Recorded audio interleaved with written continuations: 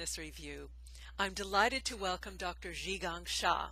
He's a world-renowned healer, physician, author, and educator. He's an MD and a doctor of traditional Chinese medicine. Um, he founded the Institute of Soul, Mind, Body Medicine, where he has integrated the essence of ancient healing traditions from the East with scientific principles from the West to create the breakthrough healing systems of power healing and soul mind body medicine. Dr. Sha is committed to spreading the messages of soul healing, soul enlightenment, and universal service worldwide. He is the author of several books that have been bestsellers on the New York Times list, on Amazon, and on New Consciousness Review's bestseller list. Um, they include Soul Mind Body Medicine, Soul Wisdom, Soul Communication, and the recently re-released Power of Soul, which is the cornerstone of Master Sha's Soul Power series. Master Sha has introduced hundreds of thousands of people around the world to the innate power of the soul to heal and to transform and rejuvenate us in every aspect of our lives. So I'm just delighted to welcome him.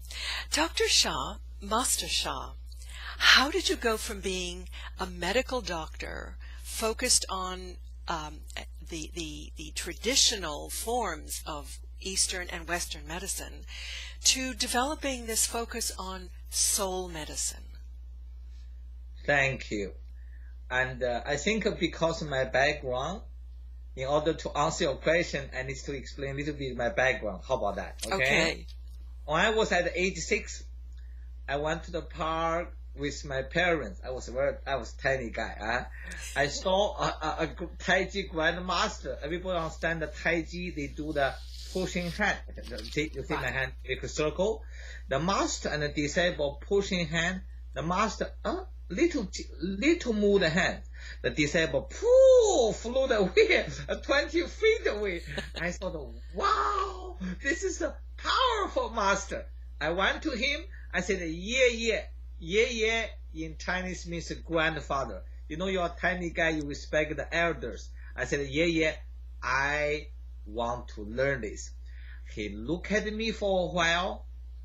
He said, you are too young to do this. I said, no, no, no, no, no, no. Please, please. I begged him. I said, I really want to learn this. And he said, if you really want to learn, I want to see your parents. I ran to my parents. I hold their arms. I said, Baba, Mama, I want to learn this. With the great support of my parents, I started my Tai Chi journey at age six. Wow. At age 10, you know Qigong, correct, Miriam? Yes, yes. Qigong. And I found another Qigong grandmaster. I started to do Qigong. Everybody knows Shaolin Kung Fu, correct? Yes. At age 12, I studied Shaolin stick, knife, sword, and Kung Fu. Uh, I studied uh, Tai Chi at age 6, internal Kung Fu. I started Shaolin Kung Fu 12. Then later I studied I Ching Feng Shui. Like you said, I become a, I study Western medicine, become a doctor. So after graduate, I work in a hospital. I have realized many chronic life-threatening condition of Western medicine has a limitation. Uh, because I study also after uh, Western medicine, I study traditional Chinese medicine. I become a doctor of acupuncturist, herbalist. Because my energy, kung fu background, I use energy with acupuncture together. I create a unique acupuncture technique uh, in China. Therefore, I was, uh, I literally, I treated the Chinese leader, the country leader, quite a few of them. You know, in China, you try, you treat the Chinese leader, not easy the big leader. so I treat them. They said, uh, that, that moment, I, I suppose go to Philippines. They said, stay in China. Why you go to foreign countries? I said, uh, uh, please let me go. I, I, want to study. I want to Philippine University. I study. Uh, I studied a master degree. But anyway, uh, that's my background.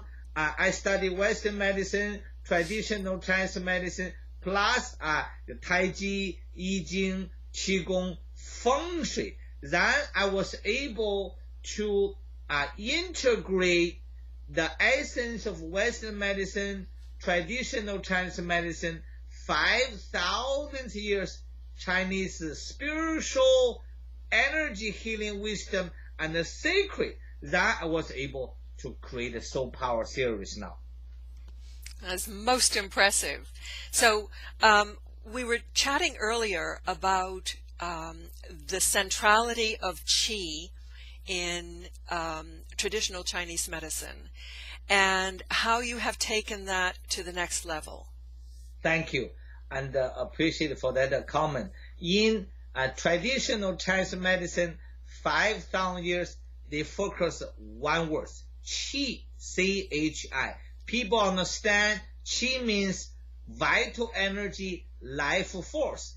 Yellow Emperor Canning, the authority textbook of traditional Chinese medicine 5,000 years ago, has a very renowned statement. If qi flows, one is healthy. If qi is blocked, one is sick. Uh, my approach now is uh, soul issues. I have realized everybody talk about the body, mind, the spirit. Uh, I believe soul is the boss. uh, therefore, for example, people has a, a hepatitis B, C, cirrhosis, uh, liver cancer. Before your liver get sick, if you have third eye abilities, you can see the soul of liver change the color. By the way, what is soul? Soul is the golden light being. One day I was in Germany in a big workshop. I walk in the hall. I put my hand. I said, "This man." I just point at man. I said, "This man has lung issues." The guy was so surprised. The guy said, "I wear heavy clothes. I get a two-time operation in my lungs. How come Master Sha can see my inside? Because I saw the lung soul become a gray and a dark. Uh, therefore, I tell the public, if a person gets sick, you go to Western medicine to check up blood test, CT scan, MR, before you find out the issues, something wrong in Western medicine, your beloved soul got sick first. Therefore, in my teaching, how to do soul, soul healing, after you got sick, you got to heal the soul first, then the healing of mind and body will follow.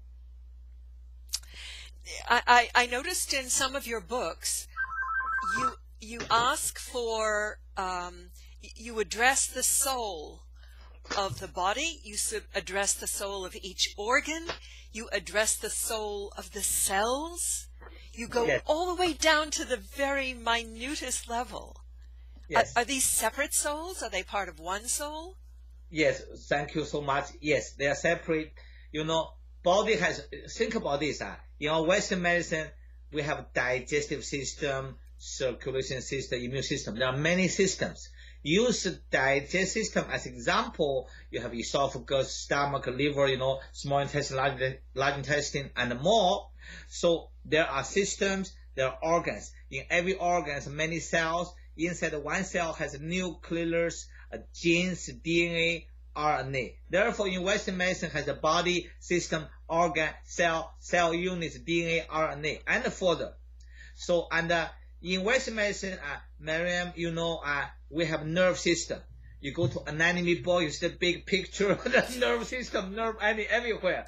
In TCM, you saw there's a meridian system, correct? Acupuncture meridians and also acupuncture point. So meridian system. In my teaching, there is a soul system. People have not talked about it because uh, you know every organ has a soul, every cell has a soul. Uh, sorry, uh, every cell has a soul. Uh, every DNA RNA has RNA has a soul. In fact, from a whole body, from skin to bone, head to toe, there are soul system uh, in all layers.